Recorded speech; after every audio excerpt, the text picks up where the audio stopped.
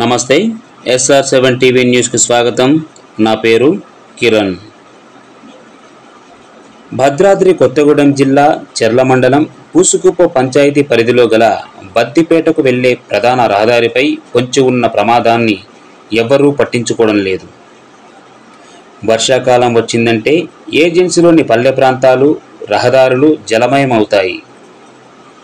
ఏజెన్సీలోని గిరిపుత్రులు వాగులు వంకలు దాటుకొని కాలినడకనే నడిచి వెళ్తుంటారు. బద్దిపేటకు వెళ్ళే ప్రధాన రహదారిలో పెను ప్రమాదం పొంచి ఉంది. గత ఏడాది వరదల సమయంలో కల్వర్టుకి గుంతలు పడి ప్రమాదంగా తయారైంది. ప్రధాన రహదారిపై ఉండటంతో వాహనాలు ఆదమర్చి తోలేమా ప్రాణాలు బలిపెట్టాల్సిందే.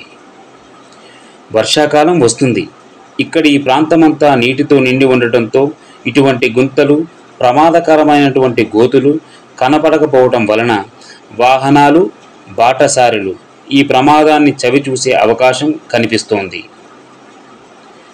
రోడ్డు రవాణా సంస్థ ఇప్పటికైనా ఏజెన్సీలోని రహదారులను వర్షాకాలం దృష్టిలో ఉంచుకొని మరమ్మతులు చేయించి ఆదివాసీలు ఎటువంటి ఇబ్బందులు పడకుండా ఉండేలా చర్యలు తీసుకోవాలని ఇక్కడ గ్రామస్తులు కోరుతున్నారు.